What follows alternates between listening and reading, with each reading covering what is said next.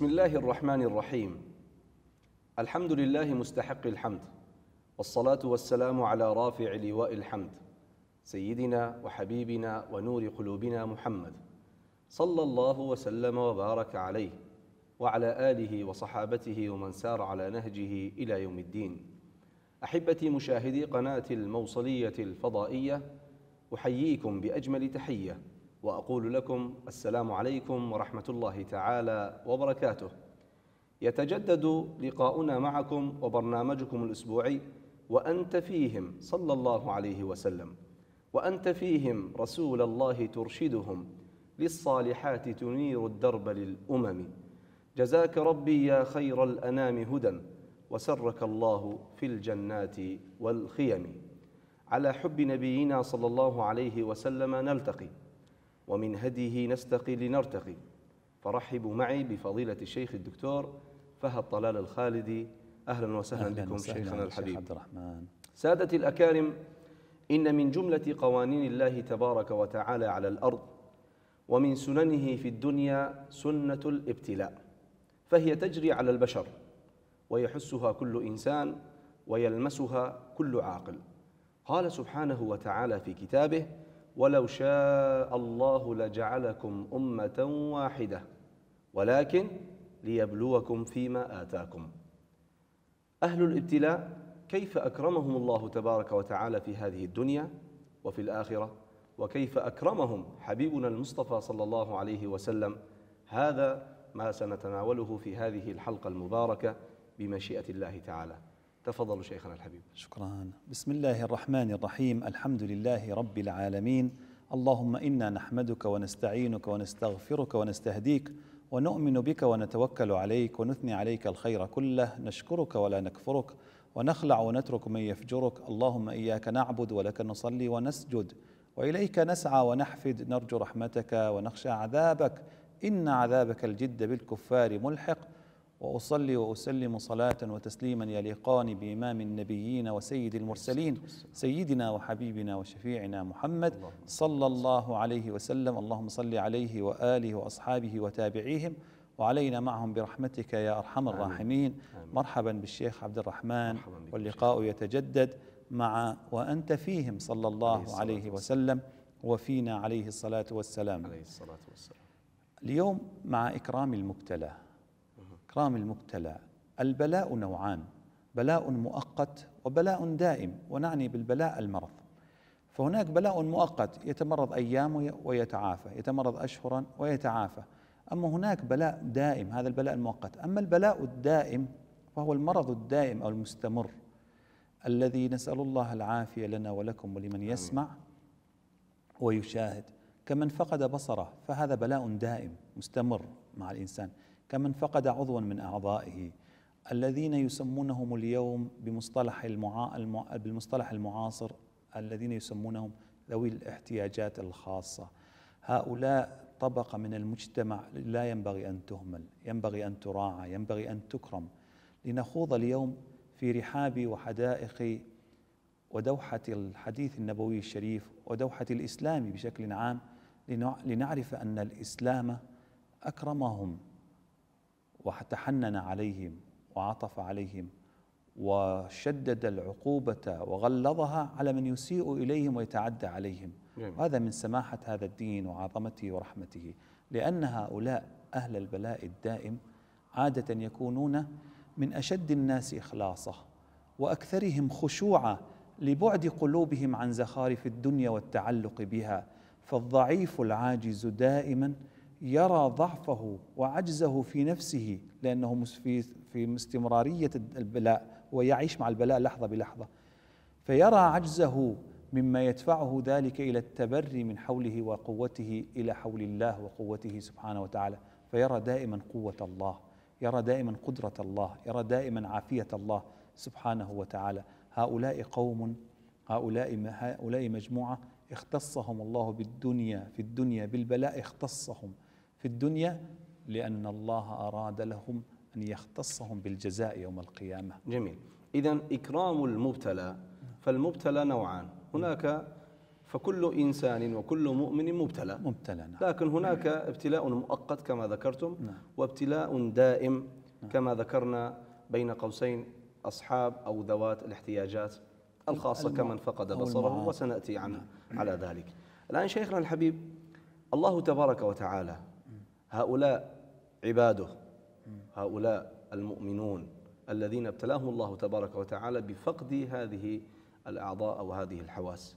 بماذا أكرمهم الله تبارك وتعالى؟ بداية أكرمهم ربنا جل جلاله بقوله تعالى وما أصاب من مصيبة في الأرض ولا في أنفسكم إلا في كتاب من قبل أن نبرأها. الله. إن ذلك على الله يسير. لكي لا تأسوا على ما فاتكم ولا تفرحوا بما آتاكم. رسالة هذه الآية أن الذي حدث معك أيها المعاق عافاك الله وإيانا آمين. إنما هو بتقدير الله. لا إله إلا إنما هو مكتوب في كتاب قبل أن تخلق. معنى ذلك أي أنك لا أي أنك أيها المبتلى لا تقعد وتلوم نفسك. أنا لو ما عبرت الشارع ما كان صار الحادث. أنا لو ما دست سريع ما كان صار حادث. أنا لو ما بقيت بالموصل ما كان صار علي اللي صار أثناء التحرير. أو أو لا لا حتى تطرد لو حتى ترفع لو من قلبك حتى تسلم الأمر لصاحب الأمر لا إله. فأعظم رسالة من في هذه الآية أن الله يقول لك ما يحدث بك بإرادتي بقدرتي بحكمتي قد لا تتجلى لك آثار الحكمة الآن لكن ستراها عيانا يوم القيامة حين قال صلى الله عليه عليه وسلم. إن عظم الجزاء مع عظم البلاء. لا إله إلا الله. كلما عظم البلاء في الدنيا عظم الجزاء في الآخرة. الله ثم نبي إن نبينا صلى الله عليه عليه, وسلم علمنا معادلة التعامل مع الدنيا. قال عجبا لأمر المؤمن فإن أمره كله له خير. كل ما يصيب خير. كله نعم. فإن أصابته سراء شكر فكان خيرا له. وإن أصابته ضراء صبر فكان خيرا له. وليس ذلك إلا للمؤمن. الله أكرمهم ربنا جل جلاله في الدنيا أن رفع عليهم الحرج. قال تعالى ليس على الأعمى حرج ولا على الأعرج حرج الله. ولا على المريض حرج. أنتم ماكو عليهم حرج. أكرمهم الله بقوله صلى الله عليه وسلم إن الله إذا أحب عبدا. هاي أحب نخلي له أسطر تحتها. نعم. خطوط. إن الله إذا أحب عبدا ابتلاه. بمعنى أن الذي ابتلي فهو محبوب عنده محبوب شرط التسليم. والرضا. لا إله إلا الله. بشرط الرضا بالقضاء. الرضا بقضاء الله. إن الله إذا أحب عبدا ابتلاه. يأتي الشيطان فيدخل في يجري في الإنسان مجرى الدم في أعماق الإنسان المبتلى. فيقول له تشوف فلان يمشي على رجلين أنت ما تمشي. شوف فلان قد عمرك دحق عليه. شوف شوف. فيريد يفسد عليه ثوابت ال- الرضا بالقضاء. فالله عز وجل قال قال وما أصاب من مصيبة ذكره بالآية. ونبينا المصطفى صلى الله عليه وسلم بشره بأن الله عز وجل في الذي هو فيه يكفر خطاياه. دخل صلى الله عليه وسلم والسلام. على أم العلاء وكانت في مرض. فقال أبشري يا أم العلاء. هي مرض وتتأذى وتتألم. أبشري يا أم العلاء. فإن مرض المسلم مرض المسلم يكفر الخطايا كما يكفر الكير خبث الحديد والذهب والفضة كما يذهب الكير خبث الحديد والذهب والفضة. فال- فالمرض غسل. فالذي يصاب بمرض مؤقت قد يشفى وقد شفي وقد برئ من ذنوبه. فكيف بالذي له مع- معاق مستدام؟ عافانا الله وإياكم. آمين الله هؤلاء عداد الحسنات عندهم مستمر. سيأتون يوم القيامة على خير كثير ف إذا من إكرام الله تبارك وتعالى لهم في الدنيا أنه أحبهم إذا أحب الله عبدا عبس. وتولى نعم أن جاءه الأعمى هنا الإكرام الذي فقد. بصره. فقد بصره سيدنا النبي صلى الله عليه وسلم ذكرنا ذلك في والسلام. العتاب في حلقة آيات العتاب والإشفاق سيدنا النبي صلى الله عليه وسلم التفت عن عبد عن عبد الله بن زائده عبد الله بن التفاتته مقصودة. ابدا ولا حاشا له. والسلام. قارن بأن اللقاء مع هؤلاء قد يكون أنفع للإسلام من تعليم رجل قد تعل قد أسلم. نعم. فنزل القرآن لحبيبنا صلى الله عليه وسلم. عليه يا. حبيبي يا محمد دير بالك شوي عليهم. عبس وتولى أن جاءه الأعمى. فكان سيدنا المصطفى صلى الله عليه وسلم يقول لعبد الله بن زائدة عبد الله بن أم مكتوم أنت الذي عاتبني ربي فيك. لا إله إلا الله. كان كلما يشوفوا سيدنا النبي يقول تحتاج شيء تريد شيء تفضل استريح صلى الله عليك عليه يا سيدي يا رسول الله. لأننا في دار البلاء يقول الإمام أحمد بن حنبل رحمه الله قيل له متى يجد العبد طعم الراحة؟ قال لا يجد طعم الراحة حتى يضع قدميه في الجنة. الله ماكو الله. راحة بالدنيا. لا راحة في وإن الدنيا. وجدت فراحته مؤقتة. نعم أي نعم أما صحيح. الراحة الأبدية السرمدية هنا. هذا تكريم الله لهم في الدنيا. في الدنيا. اذا محبته لهم أحبهم. ورفع الحرج عنهم وبلغهم بأن الذي حدث معهم مكتوب منذ الأزل. وجعل الذي فيهم تكفيرا لسيئاتهم. وجعل الذي فيهم عدادا للحسنات. ورفع الحرج عنهم. ورفع عنهم الحرج جل جلاله. وأذن لهم بأن يصلوا وأن يتعبدوا بالطريقة التي يرتاحون فيها. الله. حتى إلى درجة أنه العاجز رب العالمين قال له خلاص لا تجي على الحج وكل أحد. فبالنيابة بالحج تكون لمن؟ للميت للميت وللعاجز. قال له حتى بيتك حتى بيتي عرفة ما الله. تقدر تجي الله. ابعث أحد. الله. يسر لهم أن يؤدوا العبادة على الوجه الذي يري- يريحهم. نعم. ما يقدر يصوم لا تصوم. بل برب العالمين كما يأخذ بها سادتنا الحنابلة أن الإفطار واجب لل- للمريض. نعم. يقول خلاص أنت مريض لازم تفطر. أنا أعطيتك رخصة. نعم. سبحانه وتعالى. اذا هذا إكرام الله تبارك وتعالى لهم في الدنيا. في الدنيا. فما إكرامه لهم سبحانه وتعالى لهم في الآخرة؟ يا سلام. يقول النبي صلى الله عليه وسلم عليه الصلاة والسلام. يؤتى بأهل البلاء يوم القيامة فيوضعون تحت شجرة يقال لها شجرة البلوى. الناس في المحشر والناس الآن تحتاج إلى الظل لأن الظل دليل النجاة. نعم. لأن الناس تعرق على قدر ذنوبها. فتنصب شجرة يوم القيامة تسمى شجرة البلوى شجرة عظيمة. فيدعى إليها من فقد. ألا من فقد عزيزا فليقبل ألا من فقد عضوا فليقبل ألا ألا من أهل البلاء الدائم. نعم. ولا من فقد غاليا من فقد حتى اللي فقد أعضاء اللي فقد حواس. نعم. فيؤتون تحت الشجرة. فلا يرفع لهم ديوان. الله. ولا ينصب لهم ميزان. ويصب عليهم الأجر صبا قال تعالى إنما يوفى الصابرون أجرهم بغير حساب. الله. الله عز وجل وهذا هذا الحديث في منتهى اللطافة والرقة. يقول الله عز وجل في الحديث القدسي الجليل إذا ابتليت عبدي ببلاء في ماله أو جسمه أو أهله فاستقبل ذلك بصبر جميل استحييت يوم القيامة. الله. أن أنصب له ميزانه أو أن أنشر له ديوانه وأدخلته الجنة بغير حساب. الله الله الله. يا سلام. هل بعد هذا الإكرام إكرام؟ البلاء وقع وقع. البلاء وقع. سلم خلاص. يعني هو عدم التسليم ال- ال- الت- يعني الاعتراض لا يأتي بشيء. لا يأتي بجديد. إنما إنما إنما يذهب الأجر. نعم. يفوت عليها العقد وهذه. هذه المكرمات تذهب. وقال صلى الله عليه وسلم يقول الله عز وجل من ابتليت عبدي بحبيبتيه أي بعينيه عينيه. عافانا الله وإياكم. آمين اللهم من ابتليت عبدي بحبيبتيه لأن أغلى شيء بالإنسان الع- العين. الله. يعني يقولون ال- الأعمى يعني حياته صعبة تكون خطية. من ابتليت عبدي بحبيبتيه لم أجد له جزاء إلا الجنة. الله. يا الله يعني رب العالمين. جنة عرضها السماوات والأرض. لا عتاب ولا حساب ولا عذاب.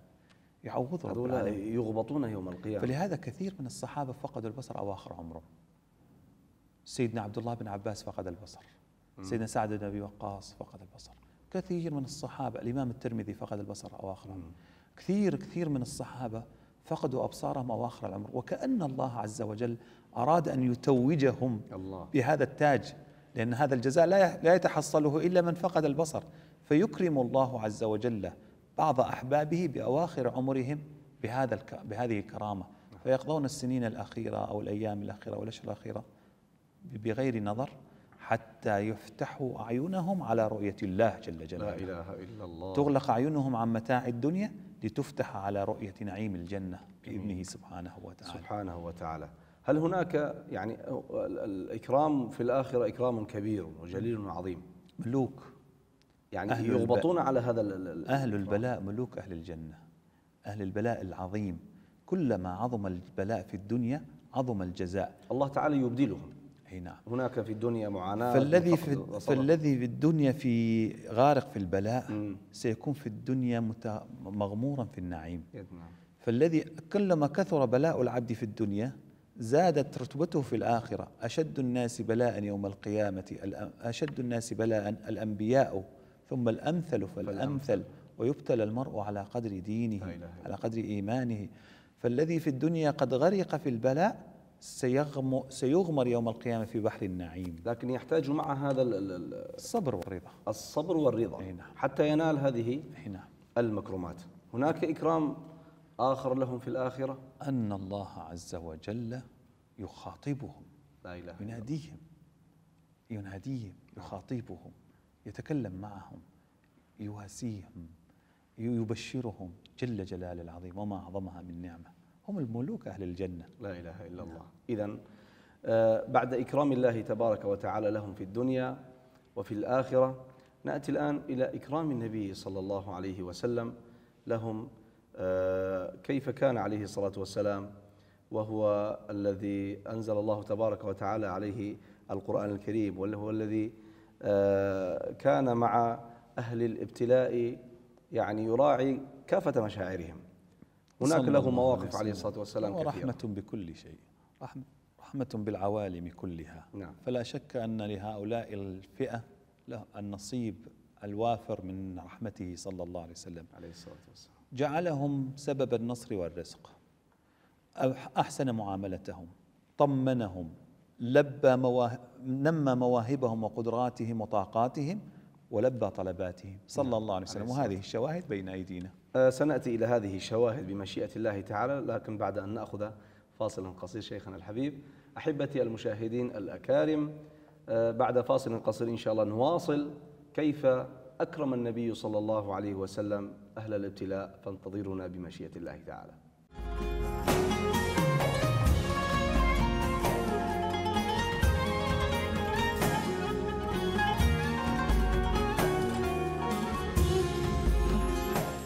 عدنا إليكم مجددا أحبتي المشاهدين الأكارم وحلقة اليوم بعنوان إكرام المبتلى. مواساة لأهل الابتلاء. قول سيدنا علي رضي الله عنه وكرم الله وجهه الدهر يومان يوم لك ويوم عليك. فإذا كان لك فلا تبطر وإذا كان عليك فاصبر. شيخنا الحبيب ذكرنا قبل الفاصل إكرام النبي صلى الله عليه وسلم لأهل الابتلاء. نعم صلى الله عليه وسلم. عليه أكرمهم نبينا صلى الله عليه وسلم بأن جعلهم سببا للنصر والرزق. قال صلى الله عليه وسلم أبغوني الضعفاء أبغوني في الضعفاء. يعني اقصدوني في الضعفاء. يعني الخاطر داروهم هذا آه، الحديث من من جميل، من, من ألطف جميل. الأحاديث. أبغوني في الضعفاء. أبغوني يعني اقصدوني. اقصدوني في الضعفاء. يعني الخاطر داروهم دار الأيتام دار ال- المرأة دار الضعيف دار المريض. لأن الضعيف في الإسلام إذا جاء بمعنى اليتيم وبمعنى المرأة وبمعنى المريض. فيبغوني في الضعفاء هذا الضعيف. وقال صلى الله عليه وسلم. إنما تنصرون وترزقون بضعفائكم وصبيانكم ومجانينكم. لا إله إلا الله. حتى الذي فقد عقله والذي لا يرى من الدنيا شيئا لا يعلم شيئا. يتصرف قد يأكل قد يشرب لكنه لا يعيش الحياة بمعناها الحقيقي. هذا سبب رزق الأهل. قال إنما تنصرون بضعفائكم سبب النصر وسبب الرزق. وصبيانكم ومجانينكم. النصر والرزق. الله. يعني إذا دخلوا في معركة وكان معهم من من أهل الإعاقة موجودين موج كان معهم من أهل الإعاقة يشاركهم؟ كانوا سببا للنصر. نعم. لأنهم هؤلاء مهابة الرحمة. لا إله إلا الله. هؤلاء أهل الإعاقة. مهابة الرحمة. يعني عليهم تتنزل الرحمات. هم مصدر الرحمة. فلهذا تجد حيننا آه، عافى الله عوائلنا جميعا. العائلة التي فيها مريض كل القلوب متشوق لهذا كل القلوب تحن على هذا تحن وتشفق تشفق, نعم. وترحم. نعم. فكلهم شلون صار فلان؟ شلون صار؟ أما أحسن.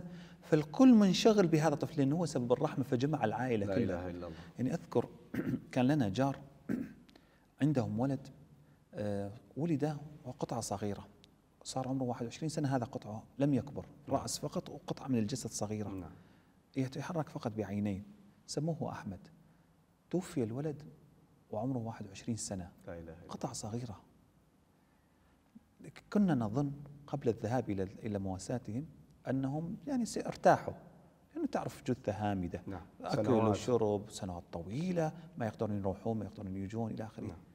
والله هو الموقف الطبيعي يعني يتكرر في كثير من العوائل لكنه ش- أنا علق في ذهني. دخلت الأب في منتهى الانهيار. لا الله. يبكي. الأخوة يبكون. العائلة حزينة جدا. أنا كنت أظن أنه قال يقولون الحمد لله ارتاحينا وخلاص. لا لا. حزوا يقول ما أقدر أشوف البيت بلا إياه. شوف التعلق. ترك لهم شوف فراغا الرحمة. في قلوبهم رحمة. رحمة هؤلاء به وهو مهبة الرحمة كم رأوا من رحمات وبركات على إثره على وج... نعم. سبب وجوده حتى تعلقوا به لهذه الدرجة. لا إله تبكي على بكائهم. يعني أنا عادي نقول يلا خلاص الموت خلص ارتاحوا. وارتاحوا لا. لا. صلى الله عليه وسلم قال إنما تنصرون وترزقون. المرض العائلة اللي بها معاق هو سبب رزق أهله هم ما يعرفون. اعرفوا هاي المعلومة حب الحبيب صلى الله عليه وسلم علمكم إياه. لا لا واحد يضوج من من طفل معاق. من ولد معاق من من من مرض من مريض من لا لا هذا هؤلاء سبب رزقكم سبب نصركم صلى الله عليك يا عليه سيدي اذا. جعلهم سبب سبب, النصر والرزق. وسبب الرزق عليه الصلاة والسلام وأحسن معاملتهم صلى الله عليه الصلاة وسلم والسلام. جاءت امرأة إلى النبي صلى الله عليه وسلم كان في عقلها شيء الصحابة مؤدبين الراوي الحديث يقول في عقلها شيء رضي الله استحى حتى أن يقول إن مجنونة مم. قال في عقلها شيء فقالت يا رسول الله أنا أريدك أحكي معك قال إيه نعم حاضر. صحابة وال- وأصلا ماكو وقت. قال قالت لا ما أريد أريد بحدنا عندي شغلة يما كان يريد بحدنا نسولف. نحكي أحكي معك بشغلتنا بحدنا قال نعم. اختاري أي السكك شئت لاجلس اليك قال اختار. الله. فراحت أخذت طريق وقفت بمكان. قالت تعال هنا يا رسول الله. الصلاة فجاء صلى الله عليه وسلم. فجلست على الأرض فجلس إليها. الله صلى الله عليه وسلم. ما قال أنا ما عندي مجال أو وأصلاً ما شوف شوف هي اشتري يعني لا، لا، أصلا اللقاء ما منه فائدة. لأنه هي أصلا في عقلها شيء. ما راح تستفاد شيء. فجلس إليها على الأرض. صلى الله عليه عليه وسلم الصلاة. ثم عتبان بن مالك رجل كان أعمى فجاء إلى النبي صلى الله عليه عليه وسلم الصلاة قال يا رسول الله أنا محروم من النظر إليك محروم من سماعك ما محروم من أن أحضر كثير ما عندك بسبب ضعفي وبعد بيتي. ممكن تجي تصلي عندنا بالبيت. صلى الله عليه وسلم. عليه قال نعم. والسلام. عليه الصلاة والسلام. فقال فتصلي في بيتي؟ قال نعم. يقول فجاء ثاني يوم الصبح صلى الله عليه وسلم. الله. فجاء دخل إلينا فصفنا فصلى مع أهل بيته. صلى الله عليه وسلم. أي وقف الهاي وقف اللي جاء مع سيدنا النبي صلى الله عليه وسلم. معاهم. ووقف لأهل البيت فصف فقال كنت أصلي في الموضع الذي صلى فيه رسول الله صلى, صلى الله عليه وسلم. الله عليه وسلم. جاء إلى جاءه البيت. سيدنا النبي مشغول جدا إكرام، جدا الوقت إكرام، جدا ما عنده إكرام. ماك وقت. عليه أفضل الصلاة هذه والسلام. رسالة شيخنا الحبيب لكل من آه، يعني آه، له مكانة في قلوب الناس آه، أيا كان يعني أن أن أن يتواضع خاصة لهؤلاء أن. يكرمهم كما أكرمهم النبي صلى الله عليه وسلم. أحوج إلى جبر القلب من غيرهم أحوج إلى جبر الخاطر من غيرهم. في من يعني جدا جدا محتاجين الجبر الخاطر محتاجين الابتسام محتاج أن لا يرى في عينيك استهزاء على حاله. جميل. يعني امرأة كانت تخرج من مكان فتعلق في في الغرب فتعلق شعرها بشيء فوقع وقعت باروكة. فبدون شعر هي. فضحك الناس فالتفتت إليهم وهي تبكي قالت وماذا أصنع إذا أوقع السرطان شعري؟ الله أكبر. يا الله فصعقوا. هي القصة ليست في بلاد الإسلام لكن الشاهد أن لا تستعجل. أننا لا نعيب أهل الابتلاء لأن الله أكرمهم. ثم من هو في مأمن من البلاء؟ نعم. من هو في مأمن؟ كلنا في في دار الابتلاء. نسأل الله العافية. آمين. اللهم آمين. إذا بعد أن جعلهم النبي صلى الله عليه وسلم سبب الرزق والنصر وأحسن معاملتهم كما ذكرتم هذه الشواهد الطيبة الآن نأتي إلى كيف طمنهم النبي عليه الصلاة صلى والسلام الله عليه وسلم. لما قال صلى الله عليه وسلم بالحديث المحفوظ إن الله لا ينظر إلى صوركم ولا إلى أجسامكم نعم. ولكن ينظر إلى قلوبكم وأعمالكم. الله. طمنهم قالوا جسدك ناقص ولا زايد؟ ما مشكلة. مم. جسدك إذا بيه نقص ما مشكلة. وإذا بيه زيادة ما مشكلة. إذا ليس المعيار. إذا فنزل قوله تعالى ومن كان في هذه أعمى فهو في الآخرة أعمى وأضل سبيلا. فقال عبد الله بن أم مكتوم بن زائد قال يا رسول الله. قام يبكي قال يا رسول الله نحن إيش شلون بالدنيا ما شفناك بالآخرة هم ما نشوفك الله أكبر. فنزل قوله تعالى فإنها لا تعمى الأبصار ولكن تعمى القلوب التي في الصدور.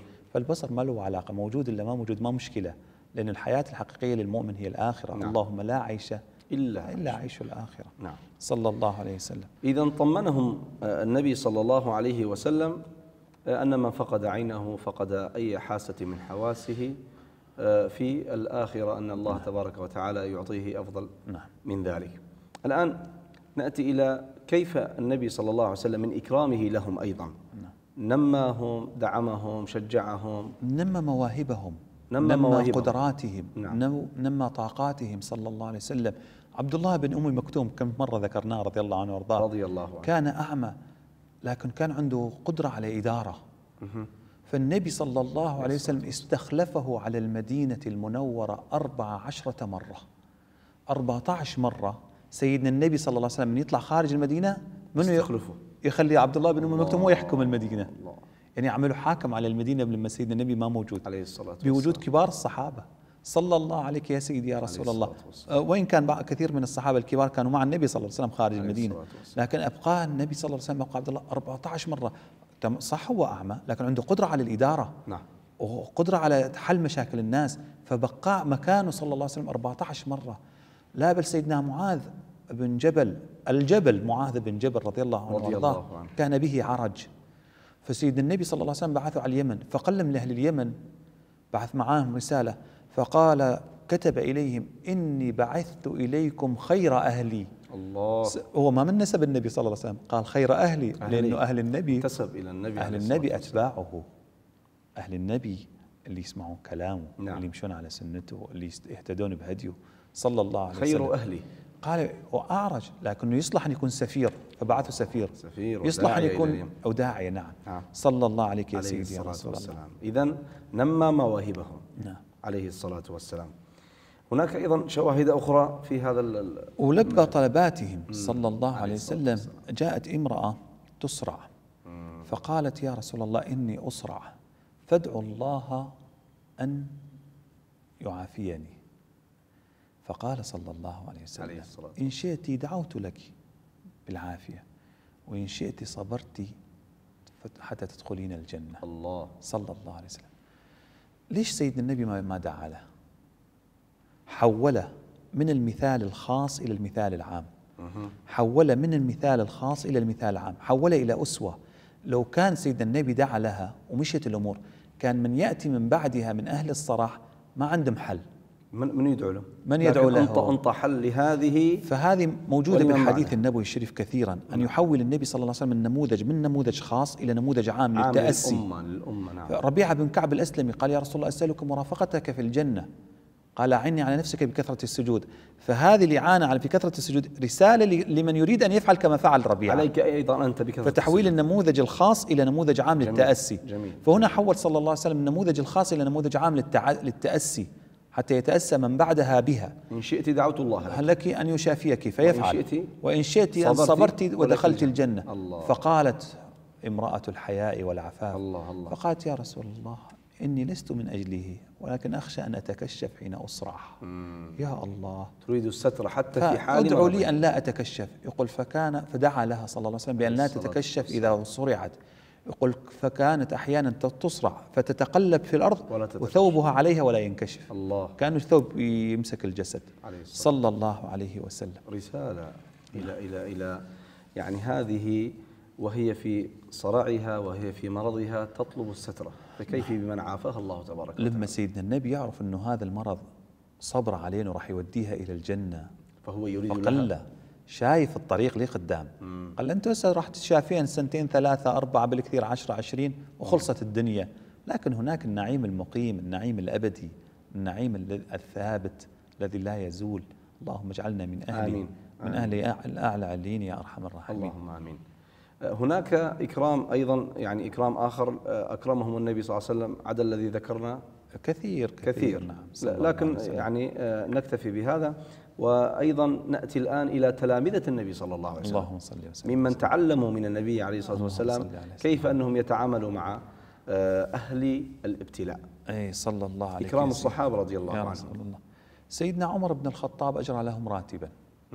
المعاقين اللي متأذين بالمعركة بخل... بسبب خلقي. خصص لهم؟ عندهم راتب. لأنهم لا يستطيعون عيب العمل. عيب واحد مثل هذا يشتغل. عيب على المجتمع كله.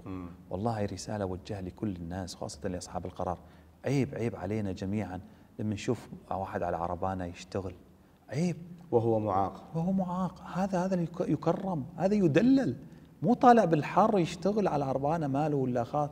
إيده مقطوعة خاصة إذا إذا. إذا يعني آه، هؤلاء يكرمون. يعني ما ابتلي به ال- البلاد أو ل احسنت أي نعم. احسنت يا هذا- شيخ هذا عبد الرحمن. يعني كثير من الناس تأذوا بسبب حروب بسبب يعني مشاركتهم قدم بمعارك قدم التحرير. قدم نفسه قدم وقدم جزءاً منه جزءا منه في للبلد. خدمة للبلد. احسنتم احسنتم نعم. سيدنا عمر الله يرضى عنه يوم من الأيام دخل إلى مكان كان فيه جلسة مج- مجموعة ناس. نعم. فرأى رجلا يأكل بيساره. ايد اليمين مقطوعة ويأكل بيساره. فقال النبي سيدنا عمر رضي الله عنه قال كل بيمينك. قال مشغولة. قدام الناس. قال كل بيمينك. قال مشغولة. قال كل باليمينك. قال مشغولة يا أمير المؤمنين. قال وما الذي شغلها؟ شنو شغلها؟ لا تأكل باليسار. فقال قطعت يوم مؤته الله. يا الله. في سبيل الله. يقول فقام عمر. وجاء إليه وجلس عنده وأخذ يبكي وهو يقول من يوضئك؟ من يغسلك؟ من يقدم لك طعاما؟ من من من من؟ ثم أجرى له خادما نعم. وراحلة وطعاما ورجى منه أن يعفو عنه. الله. يا سلام. هذا هذا كلام شو شو. الأسلوب التعامل مع أهل نعم،. قال له أنت مثلك لازم له خادم نعم. وراحلة وراتب واعفو عني. رضي الله عنه وارضاه. رضي الله سيدنا عمر بن عبد العزيز من بعد الصحابة. جميل. رضي الله عن سيدنا عمر. نبقى شيخنا الحبيب مع إكرام الصحابة رضي الله عنهم. وكذلك من بعدهم لكن نأخذ فاصلا قصير بعد إذنكم. نعم. ونواصل إن شاء الله أحبتي المشاهدين الأكارم. انتظرونا بعد فاصل قصير ونواصل. وعنوان حلقتنا إكرام المبتلى.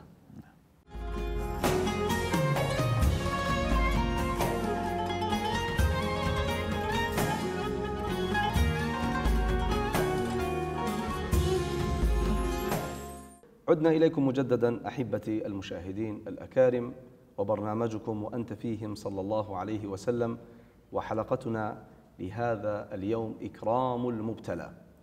أخذنا في بداية الحلقة كيف أكرم الله تبارك وتعالى أهل الابتلاء في الدنيا وفي الآخرة وكيف أكرمهم حضرة النبي صلى الله عليه وسلم وصحابته رضي الله عنهم جميعا. شيخنا الحبيب ذكرنا قبل الفاصل كيف تعامل وأكرم سيدنا عمر بن عبد العزيز رضي الله عنه أهل الابتلاء. نعم أجرى لهم راتبا. نعم. راتب خاص للذين أهل الاعاقه نعم. جاء بعده الوليد بن عبد الملك. الوليد بن عبد الملك أنشأ لهم مشفى خاصا بهم. يعني عمل لهم مستشفى خاص لرعايتهم لهم لرعايتهم وعنايتهم. وداراتهم نعم. وهذا المفروض يجري في كل البلدان. هؤلاء طبقة من المجتمع تحتاج أن تراعى أن تكرم أن أن تحفظ هيبتها أن تحفظ مكانتها وكرامتها. جميل. إذا الآن آه، يعني ذكرنا هذه المكرمات. من عند الله تبارك وتعالى وحبيبه المصطفى صلى الله عليه وسلم وصحابته ومن جاء بعدهم. هل حذر الإسلام من التعدي عليهم؟ هاي نقطة جدا مهمة. هاي رسالة الحلقة. نعم. أن الإسلام حرم التعدي عليهم معنويا وحسيا. معنويا؟ وحسيا. وحسيا. المعنويا قال تعالى يا أيها الذين آمنوا لا يسخر قوم من قوم. عسى أن يكونوا خيرا منهم. ولا نساء من نساء عسى أن يكون خيرا منهم منهن. ولا تلمزوا أنفسكم تنابزوا بالألقاب. بئس الاسم الفسوق بعد الإيمان. ومن لم يتب فأولئك هم الظالمون. عد الذي يسخر من هؤلاء ظالما. بشهادة القرآن الكريم. الذي يسخر من أهل الابتلاء. الذي يسخر من الناس بشكل عام. وبالذات من أهل الابتلاء. أو الذي يع- يع- يعيب بالألقاب ويلمز بها فهذا عده القرآن ظالما لأنه تعدى على قوم لأن عندنا جبر الخاطر أم- أمر مقدس في الإسلام. جميل. شيخنا الحبيب رب سائل يسأل ما زلنا نتكلم في هذه النقطة.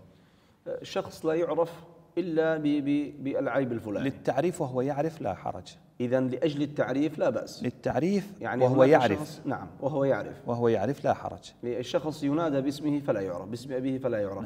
لكن فلان مثلا الأعرج. ليس من باب التعييب أبدا. من. باب التعريف. هو يعرف أيضا. نعم. يعرف يعني كأن الأمر بإذنه. مم. فكثير عندنا من رواة الحديث الأعمى الأعراج الضرير كثير من رواة. الصحابة شلون شلون نقلوا لنا أنه عبد الله بن أم مكتوم رأى أعمى؟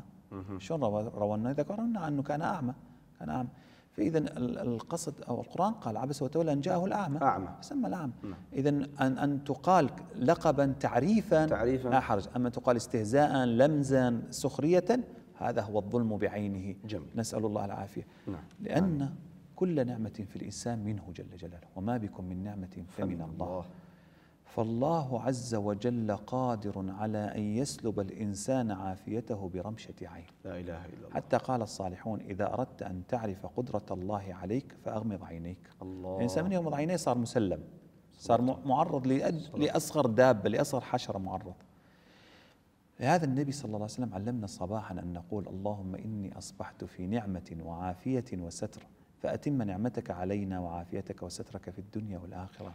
النبي صلى الله عليه وسلم علمنا أن نقول اللهم ما أصبح بي من نعمة. من نعمة أو بأحد من خلقك فمنك وحدك لا شريك لك فلك الحمد ولك الشكر ولك الثناء الحسن. سلوا الله تجداد النعمة تجديد النعمة كل يوم حتى تتجدد لكم. سلوا الله العافية. إي- إياك أيها الإنسان أن تسخر. أنا مع الأسف أكثر المسلسلات والمسرحيات الكوميدية استهزاء بر- برجل قصير القامة استهزاء بأعمى استهزاء بأعرج استهزاء استهزاء بمن يلهى يل يل يل يتكلم يعني تس- تتساقط يعني عنده الحروف. ينتظرون آه، يعني آه، يعني الشخص بأن مثلا أخطأ أو مثلا الإعلام تعثر. ظلمهم. الإعلام الكوميدي إذا صح التعبير ظلمهم. جعلهم مصدر أخذوا للسخرية. السخرية والاستهزاء. صار صارت ال- ال- الضحكة لا تكون جميلة إلا إذا صار بها استهزاء على على إم على إم على أهل- سمين أو على نعم. على قصير أو على قزم أو على صاحب إعاقة. أو على معاق على أو على من يلثم يتلعثم بالكلام. نسأل الله العافية. هذا ليس من ديننا. ورد أن آه، شبابا كانوا يسوقون في سيارة. نعم. وصوت الغنى والص- والصخب والهوسة. فكان أكو كلب نائم على طرف الطريق. أقدامه على الشارع وهو على طرف الطريق.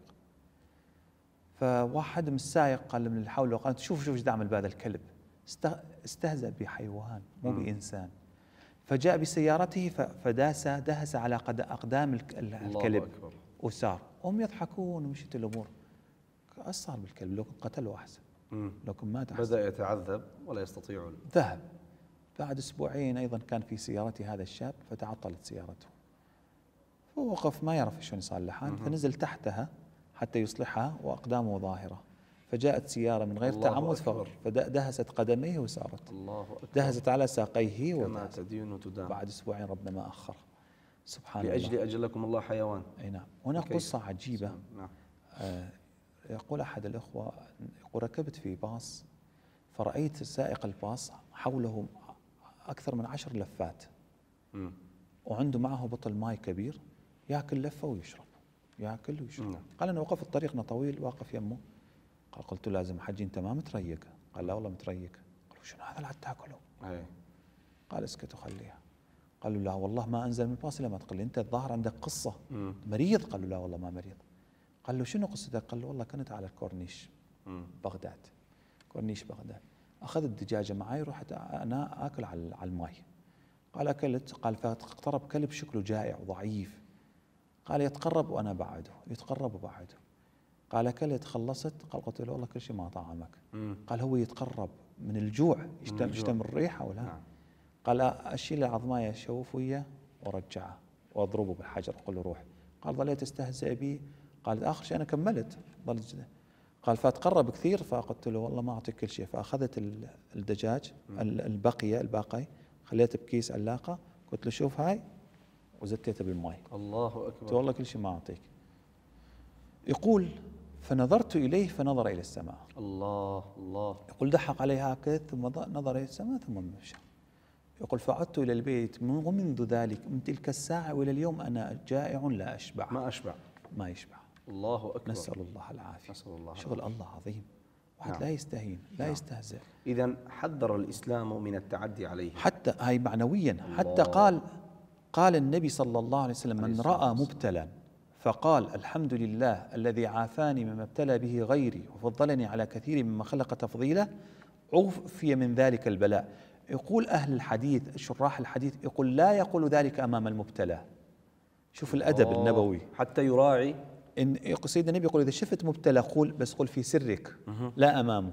حتى- حتى لا يجرح. حتى لا يجرح. شوف لهالدرجة الحمد الإسلام. لله الذي عافانا. فمرات بعض الناس يشوف يقول الحمد لله لا دير بالك هاي تجرحه. فتقولها في سرك ليس أمام المبتلى. شوف الجميل. حتى من اللطائف هناك أم، رجل اسمه زيد بن صوحان.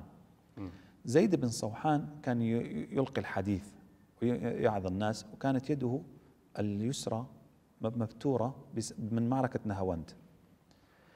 فجاء أعرابي فجلس يسمع الحلقة الدرس.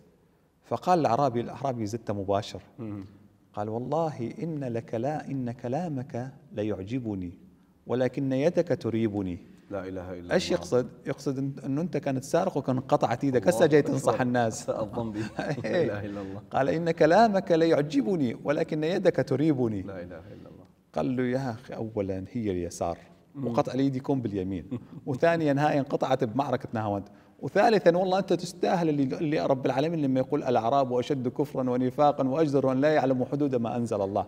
قال أنت ما تعرف حدود ما أنزل الله انه القطع يكون بالي- باليمين مو باليسار. مباشرة على يسار. فقال له إن كلامك لا يعجبني. والله أنا عجبتني كلامك ولكن يدك تريبني. لا إله فما يصير واحد يجاهر قدامهم يجرح لهم هذا هذا الإيذاء المعنوي. ليس كل قطع لأجل سرقة.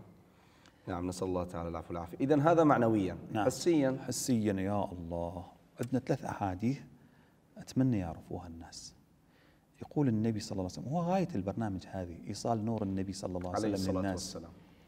الأول يقول عليه الصلاة والسلام من ولي من أمر الناس شيئا فاحتجب عن أولي الضعفه والحاجة احتجب الله عنه يوم القيامة.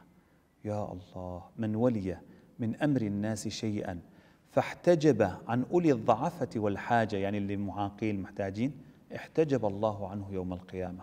رواه الإمام أحمد.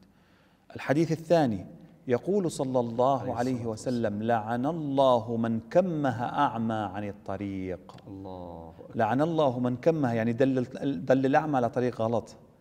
مرات يشاقون مع أعمي يوقعوه يدخلوه حفره يوقفون مع لعن الله من الاستهزاء. كمه أعمى عن الطريق هذا الثاني. والحديث الثالث يقول صلى الله عليه وسلم يا. سلام على الأدب النبوي الرفيع. صلى الله عليه وسلم. ترك السلام على الضرير خيانة. الله أكبر. هسه يقول هذا الضرير ما يشوف. الديلمي. نعم. إيه يقول لأن ما يشوف ما ما يحتاج. يشوف ما يحتاج لا. اعتباره ما قائم. مهم. كإنسان اعتباره قائم لا يستهان به. اعتباره قائم. هو أعمى ولا ما أعمى السلام عليه لازم تسلم. ترك السلام على الضرير خيانة. صلى الله عليه وسلم. إلى هالدرجة راح المشاعر. إلى المشاعر. هالدرجة جبر الخواطر لأن الأعمى يعرف يسمع. يعني يسمع حتى اللي يمشي بهدوء يسمع لأن سمعهم أقوى من سمع المبصرين. نعم. جميل. فلهذا إذا أحاديث خطيرة. إيه جليلة. نعم. آه، بين لنا النبي صلى الله عليه وسلم أنه أو حذرنا من التعدي حسيا عليهم. هناك يوم عالمي ل- جعلوا له يوما عالميا. شوف إيش قد متأخرين علينا عنا. اللي هو يوم 3 12 1993 ميلادية 3 12 1993 اليوم العالمي لذوي الاحتياجات الخاصة. قل لم سبقكم الاسلام ب 1400 سنة.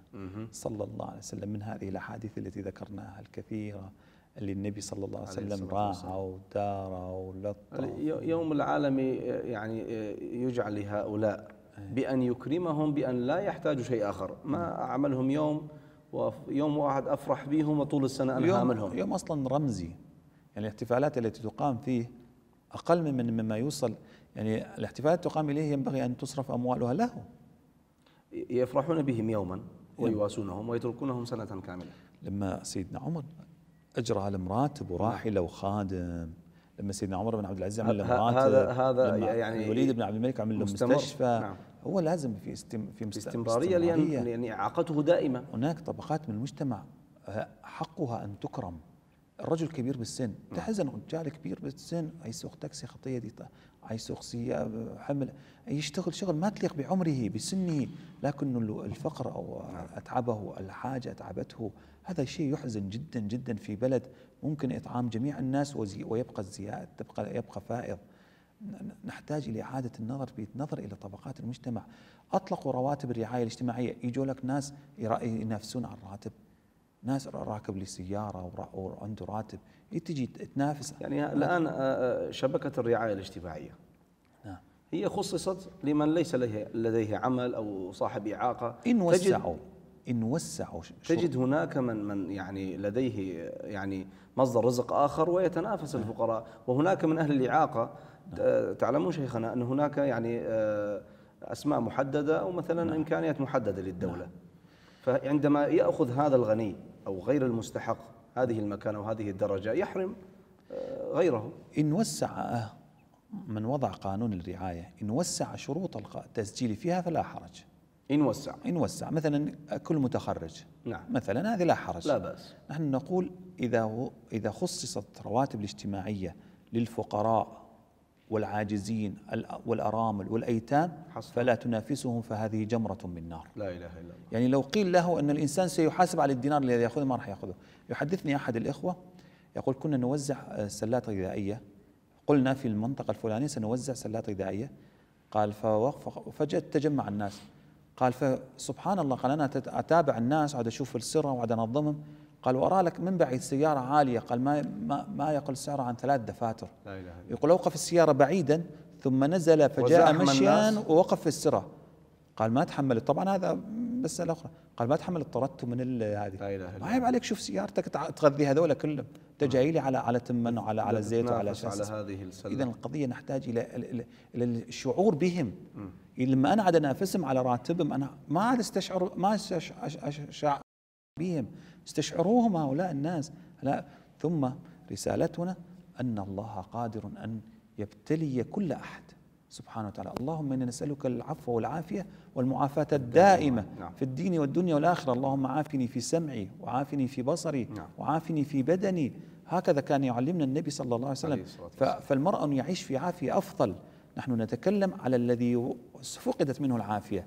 فندعوه إلى الصبر والرضا والى جميل. أما ما ليس ذلك أنه لأنه الجزاء عظيم فالواحد يتمنى أن يكون من أهل البلاء نعوذ بالله هذا هذا تفكير خاطئ. لا لا. نقول اسألوا الله المعافاة الدائمة. اسألوا الله العافية في السمع في البصر في البدن كما علمنا سيدنا المصطفى صلى, صلى الله, الله عليه وسلم. وسلم. كلمة نختم بها هذه الحلقة. كلمة هؤلاء الناس من أشد الناس إخلاصا وأكثرهم خشوعا لبعد قلوبهم عن التعلق بزخارف الدنيا. فالضعيف غالبا إذا رأى عجزه تبرأ عن الحول والقوة واستعان بالله ذي القوة فأكرموهم واجبروا بخاطرهم. عسى ربنا أن يعافيكم لقوله صلى الله عليه وسلم لا تظهر الشماتة بأخيك فيعافيه الله ويبتليك. هذا له تفسيران على عجالة. نعم. التفسير الأول أنه كل مريض. لا تظهر الشماتة بأخيك فيعافيه الله ويبتليك. والتفسير الثاني وهو الراجح أنه لا تظهر الشماتة بأخيك إذا عصى مو إذا إذا كان معاقا أو إذا كان مريضا. أي إذا وقع في الذنب. لا تظهر الشماتة بأخيك إذا وقع في ذنب فيعافيه الله ويبتليك. مستندلين بقوله عليه الصلاة والسلام من عير أخاه بذنب لم يمت حتى يعمله. من عير أخاه بذنب لم يمت حتى يعمله. فأغلق فمك عن الحديث عن معاصي الناس لأن البلاء ينزل بين لحظة ولحظة. نسأل الله أن يكشف عنا البلاء ما آمين. نزل من السماء وما صعد من الأرض. آمين. وأن يحفنا دائما بعافيته ورضاه آمين. وكنفه ورحمته وبركته ونوره ومعافاته الدائمة. آمين آمين. آمين اللهم آمين. بوركتم شيخنا الحبيب وبورك ما قلتم ونفعنا الله بعلمكم وبركاتكم. أحبتي المشاهدين الأكارم رسالة إلى من يهمه الأمر. علينا أن نعتني بهذه الشريحة. لأننا إذا أردنا أن ننتصر فبهم ننتصر. وإذا أردنا أن يبارك في أرزاقنا فبسببهم يبارك في أرزاقنا. ولأن الله تبارك وتعالى أكرمهم فنحن لإكرام الله لهم نكرمهم. ولأن حبيبنا المصطفى صلى الله عليه وسلم أكرمهم وطمنهم ونمى مواهبهم فعلينا أن نلاحظ هذا الأمر وأن نسعى إليه وأن نعمل به. وأختم قولي بمقولة جميلة من سار بين الناس جابرا للخواطر أنقذه الله من جوف المخاطر. حتى ألتقيكم في حلقة أخرى من برنامجكم وأنت فيهم صلى الله عليه وسلم. أستودع الله دينكم وخواتيم أعمالكم. والسلام عليكم ورحمة الله تعالى وبركاته.